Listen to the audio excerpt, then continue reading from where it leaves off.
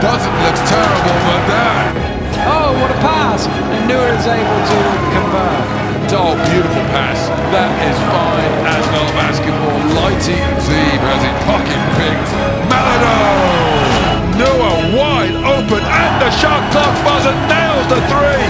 Ah non, c'est ballot ça, mal perdu. Wow!